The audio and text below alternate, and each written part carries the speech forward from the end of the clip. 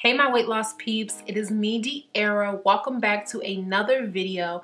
This is again me always. If you're new, if you're new here to my channel and you've never seen one of my videos, hi, my name is Deaira.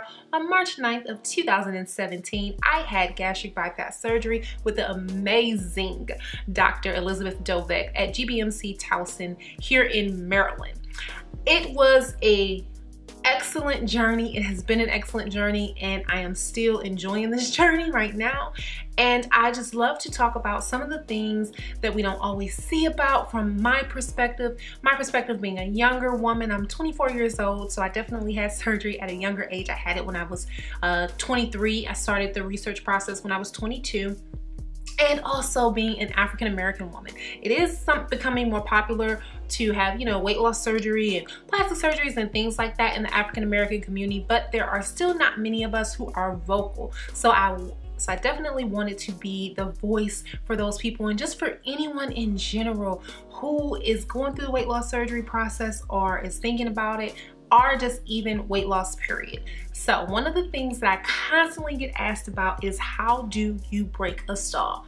First of all, it is amazing to me how much weight I've really lost. When I really think about it in the grand scheme of things, losing 130 pounds is absolutely major. And I have to take the time to acknowledge it and acknowledge myself now that I think about it because often I really do beat myself down. I wish that I was further along in my journey. I wish the scale said something different, but I have to remember I have lost a whole person. So you get to that point when you have, you know, more than 100 pounds to lose, for me, I have to lose 200 pounds to be at a good, healthy weight range uh, for my height.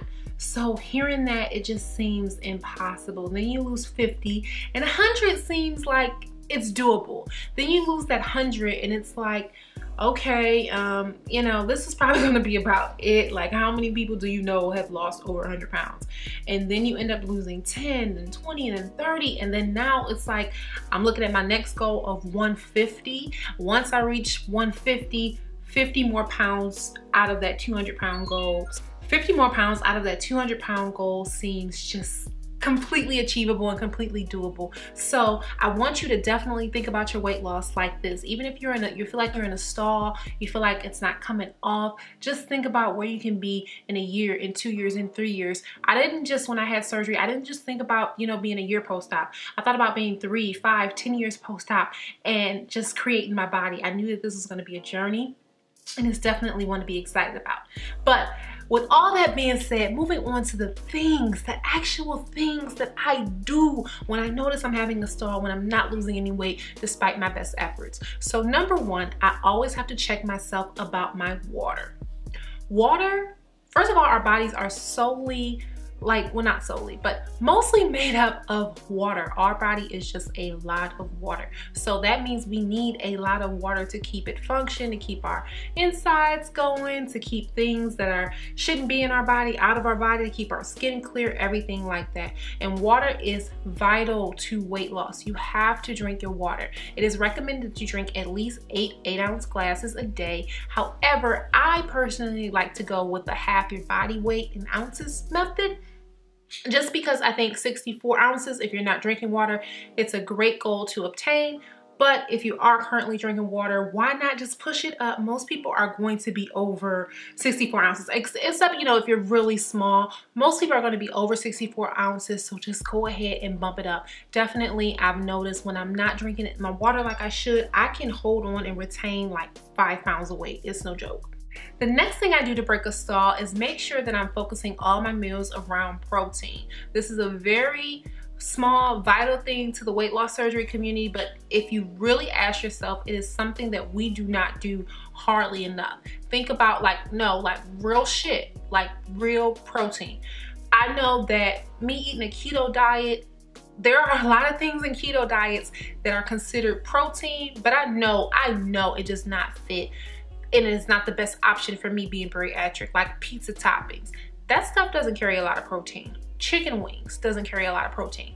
Having an actual piece of chicken breast, having an actual piece of salmon, piece of tuna, maybe a little bit of red meat if you eat red meat, solid, firm protein. That is what gets our stomachs full and that's what makes us feel um, satiated for a very long time. And that is the whole purpose of our stomachs being reduced either by pouch or either by having them removed VSG style it is the purpose that our stomach should be smaller and it should take less food to fill it up. But you can put slidey foods into your stomach. When you put slidey foods into your stomach, that leaves room for you to do what?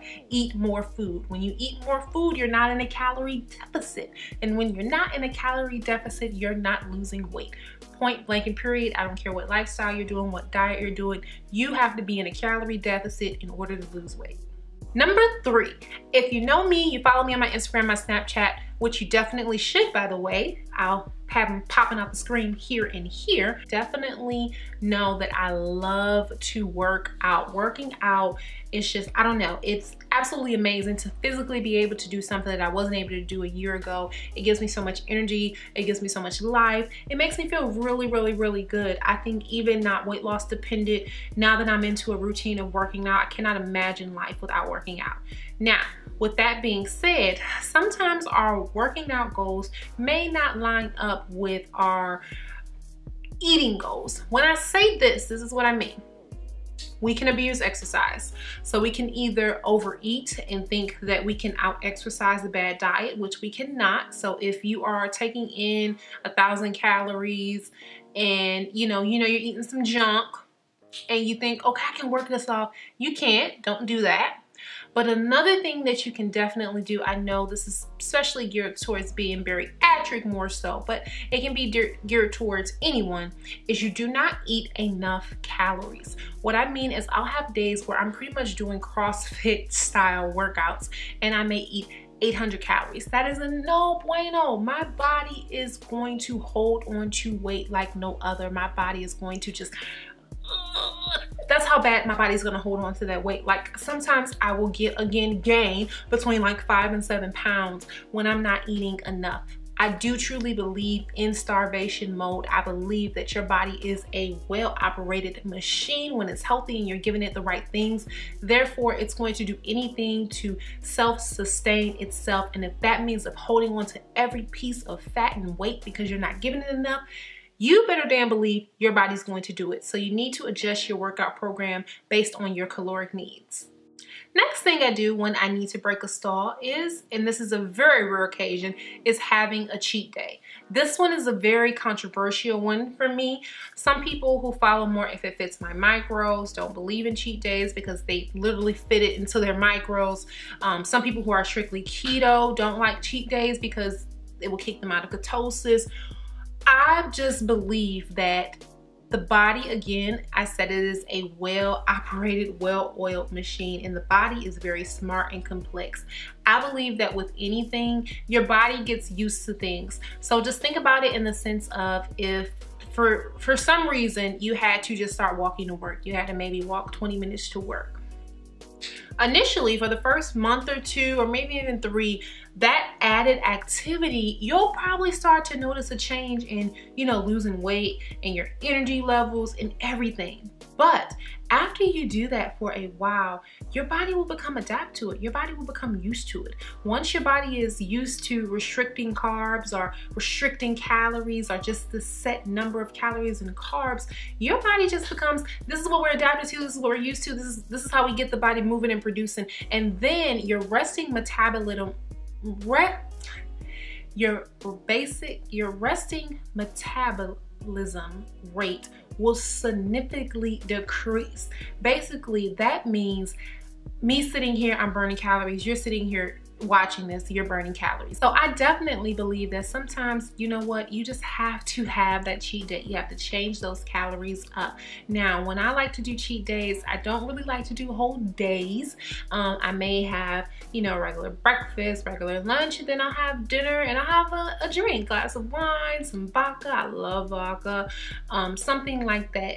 And I've noticed that I can get on the scale the next day and I've lost two pounds. And I may do that for a day or two, go back to my program program and my weight starts to fall off again. So it's just a way of tricking the body into thinking that we're doing something new because I want you to do what I want you to do, kind of like a kid. You got to trick them into doing the right thing. That's how you have to trick your body sometimes. And the very last thing I do when I'm in a stall, I simply weigh it out. Stalls are completely natural, trust me. I noticed that when I started to lose a rapid amount of weight, large numbers of weight, my body had to take a second to say, hold up, I need a minute to readjust. And I actually love this time. I was telling my girlfriend that it seems like when I'm in a period of not losing weight, physically my body starts to like kind of shrink a dink dink. It's, it's so weird because I could be like at the same weight or like fluctuating two or three pounds for maybe a month sometimes this may happen or even three weeks. And in those three weeks, my body just starts to get smaller and smaller and smaller. And the scale isn't doing anything. And then I go back into my losing period and it doesn't look like I'm getting smaller, but I'm losing like crazy. And then when I go back into that period of not losing, smaller, smaller, smaller. So basically what I think it is, is and I'm no scientist or whatever, but just what I think it is, is your body is just taking time to get adapt to the weight loss. It's getting used to carrying a lighter you and it's reproportioning things and it's definitely something to be embraced, not scared of. So if you're having a stall, I know it's scary, but just keep doing what you're supposed to be doing. Keep following the program to suit. I believe that every program you should try for six weeks do not write me in my inbox and tell me you tried keto, keto way of eating, and it's been three days and you ain't lost no weight. I'm not even gonna respond to you because seriously, even with me having weight loss surgery, I fight every single day for every pound I lose and I stick shit out. Like you have to stick it out. Even though I have this tool, I know that I am going to lifelong be watching, monitoring my weight, watching what I eat, watching what I drink, watching how much activity I do. It's just something called life. You have to grow up and embrace it and embrace that you have to stick to something in order for it to work. All right, my weight loss peeps, that is the end of this video. Please comment below and let me know what other topics you want me to talk about. If you want to see more what I eat in a days, if you want me to talk about other things as it relates to weight loss surgery specifically, weight loss in general, just anything, comment below. I absolutely love and appreciate your feedback. Thanks so much for watching my channel. Do not forget to subscribe and click that bell for notifications so you can be notified when I post a new video. Thank you so much for watching. Stay pretty and I'll see you in the next video.